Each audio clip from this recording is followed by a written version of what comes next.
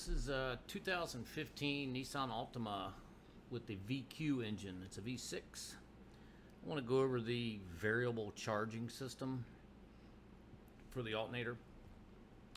Um, we are experiencing a big time problem with Nissan alternators right now. The remanufactured alternators are junk. I've heard horror stories of shops having to put upwards of seven alternators on before they find a good one. Um, these things aren't that easy to put on, especially on this model. Uh, our shop in particular, I know of one Maxima that had to have four. This particular car I'm working on here, another guy in the shop literally just put this alternator on. And thank God he drove the car. The guy that put it on is a very competent guy. Uh, there's no doubt it was installed correctly. He did his homework. Uh, he did testing as it should. He drove the car afterward, the alternator failed before it even was delivered to the customer.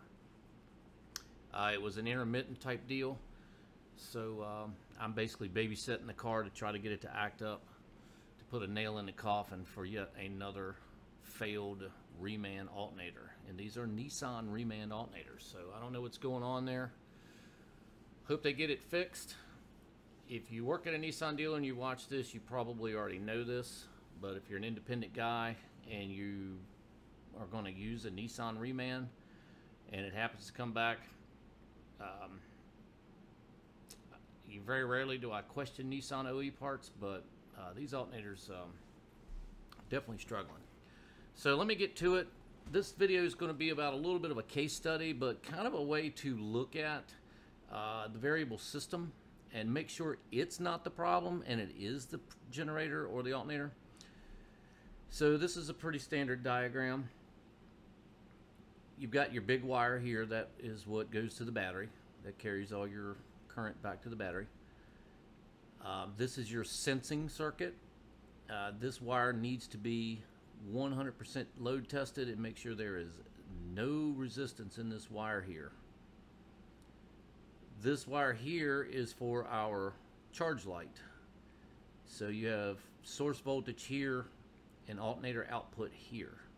Obviously, if this gets less than this, you have a power, you have a ground, and you'll turn your battery light on. This wire here is the signal from the IPDM. It's a pulse width signal. It's negative duty controlled and it will lower or raise the output of the generator. Um, this is a little bit older system. This alternator can function on its own. So if this system, if this wire were disconnected, shorted to ground, open, uh, this alternator will still function.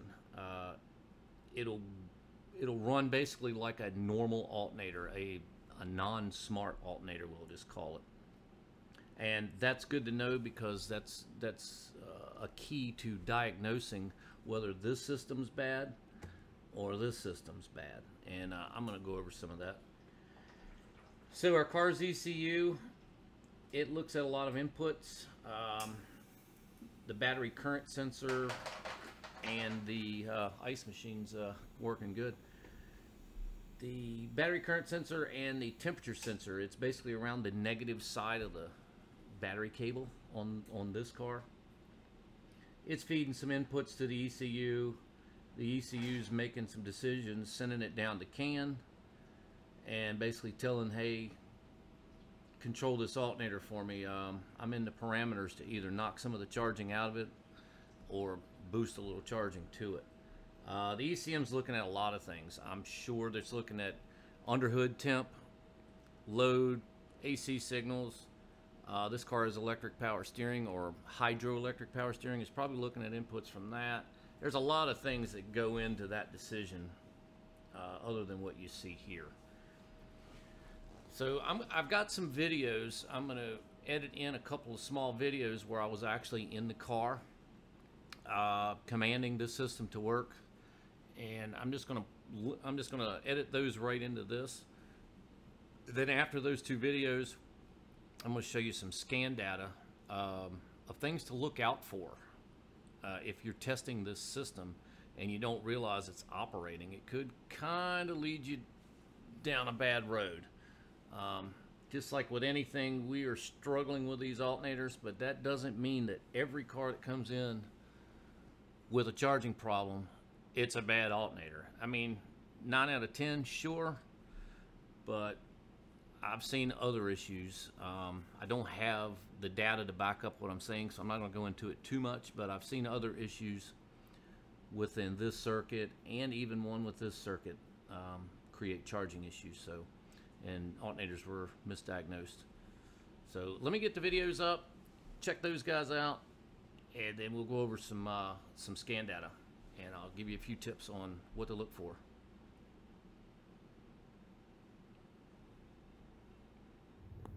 So all I'm going to do here is we're going to watch battery voltage while I command the duty up with the scan tool. There's 10%. Notice the voltage dropped. You see the square wave on the scene. I'm back probed at the IPDM. And go up. The more I command the duty, the more voltage I get. But just remember, a low voltage means it commands it low. So I'm up at 40%, so I'm up to 13. I go up to 80 and 90. You can see it jumps up to 15. And then 100%, it kind of acts like the wire shorted to ground, so it reverts back to a normal alternator. Um, it's not 100% computer controlled. This alternator has three wires. There's only one wire that does this. The ECM makes a decision, sends signals to the IPDM over CAN. The CAN's the muscle. This signal is coming out of the IPDM. For any non-scopers out there, if you don't have a scope yet and you have a voltmeter, if your voltmeter has a duty frequency setting, set it up, go to a negative trigger, and uh, the percent, and I'll keep you focused there. And I'm just going to add some percentage just like I did with the scope. Uh, you can see the duties going up. So you can actually test this system live if you don't believe your scan tool, which uh, I don't fault you if you don't. So I'll run it all the way up to 100. Uh, of course, the voltmeter is going to show that. It's close.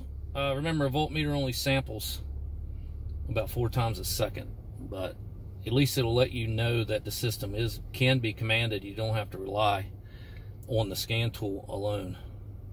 And there's back down to Scan tool shows 10, voltmeter shows 8, and then when it says ouch, it's at 0.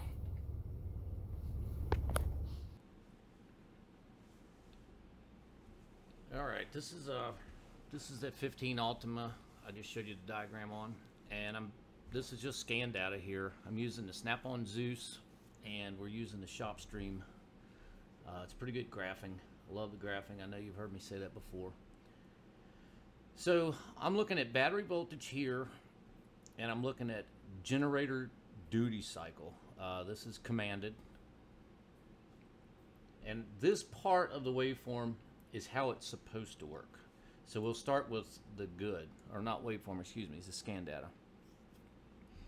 So up here, where I've got this cursor here, we can see that I'm commanded nothing. At 0% command, this alternator acts like a normal alternator. It is uh, internally regulated. It is has it has no influence from the computer at all. And you can see it's charging at 13.7. Not a problem. You lay a voltmeter across that thing, you're going to see 13.7. Now I come across here. Now it jumps up right here to 59% duty controlled, and I'm at 13.2. And what this thing does is as the duty cycle lessens, this number gets smaller, it brings the voltage down. But it does it incrementally. You wouldn't want to all of a sudden go from 13.2 to 11.9. Uh, that would that would cause the engine to surge. Uh, alternators really take a lot of power from the engine and you wouldn't believe how much that engine would surge. So what it does, and you can see, it gradually ramps this thing down. And as it's ramping it down, you see up here the charging voltage starts coming down. and it's pretty plain to see and then it starts really coming down so I'm at 29% it's bringing me down to 12 and then you get down here it kind of bottoms out at 15% and I'm down under 12 volts now why do you think that would do that let's say you're riding down the road you're going at interstate speed 70 miles an hour um, it's a nice fall day you got the windows down the headlights aren't let's say you don't even have the radio on, you got very little load on the car. You don't really need that alternator up here zinging at, you know, 13, 14 volts. So this alternator or this computer is going to say, you know what, we don't need all this power. So I'm going to pull that alternator out of the loop a little bit, take a little load off the crankshaft, see if we can get a little bit more fuel economy out of this thing. So, and that's what it does. I think this system uh, brings voltage or charging down more than it tells it to go up. Because this world we live in is driven by EPA as far as the auto industry. Uh, this is 2015, so this is actually old technology compared to what Nissan has out there now.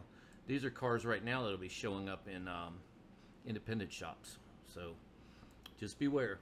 Like I said, this is how it's supposed to work. So I'm down here under 12 volts and I'm at 15%. So something told the computer, hey, that's a little low, so let's start ramping this thing back up. So that's exactly what it does. It's ramping it up. It doesn't jump from 15 back up because it would lug the motor down and it, it may even stall, probably a four cylinder, not a six.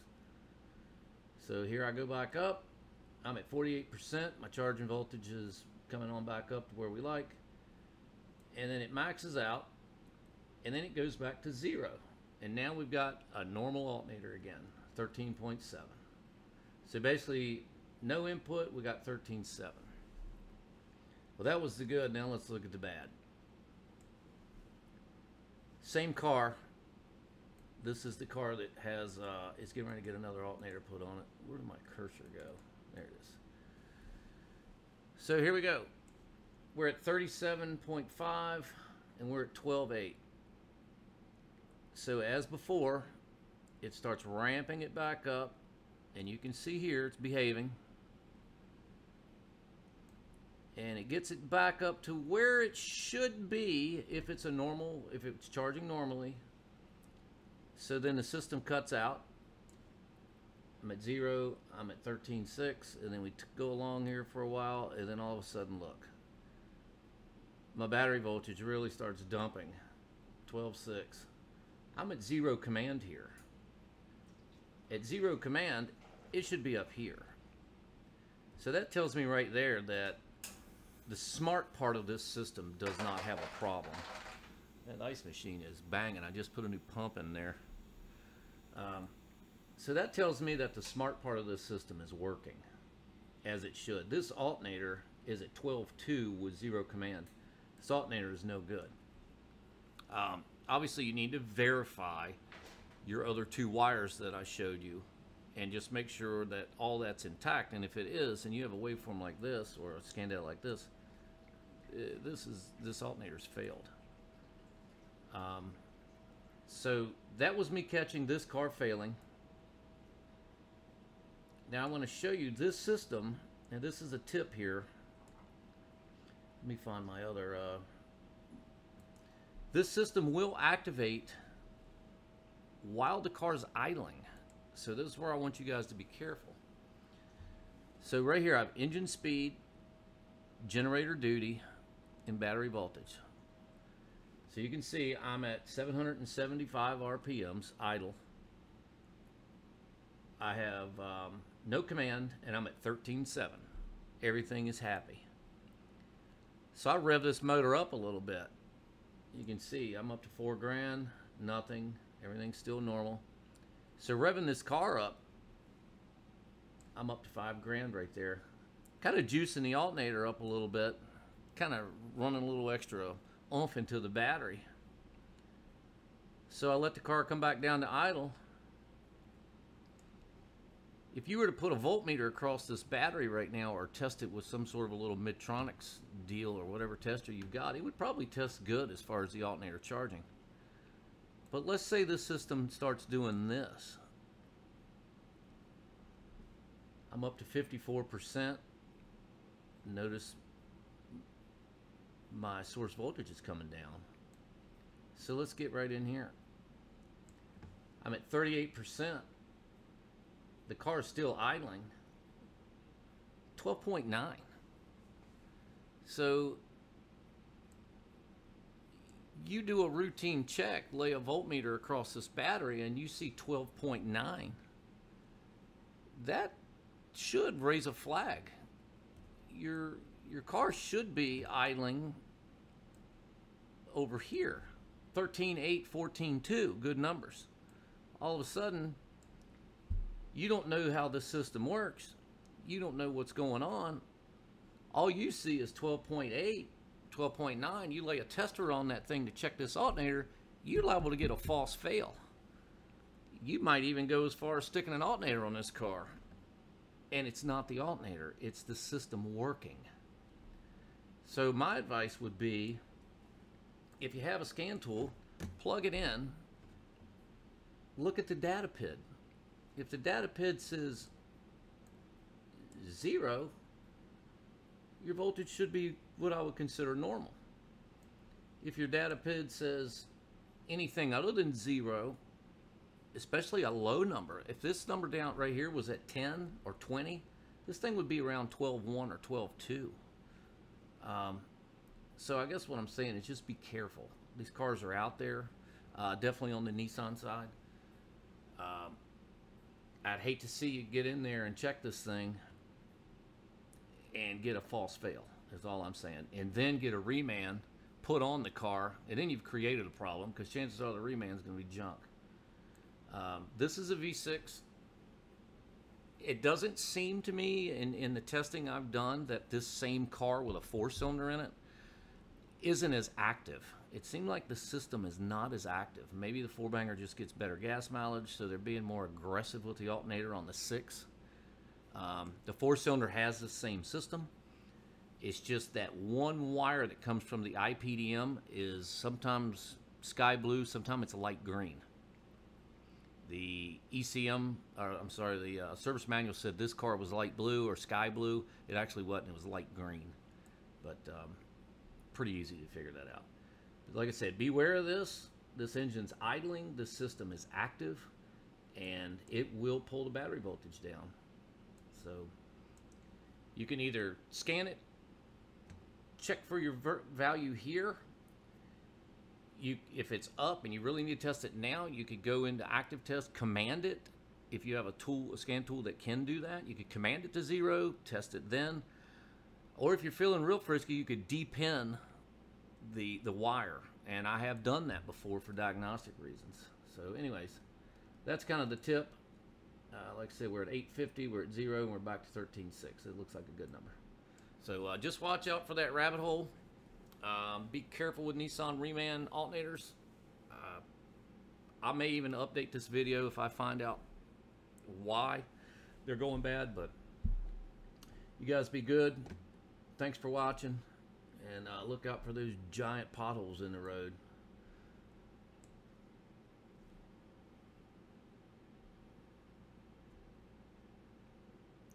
Probably don't want to see that. Where's my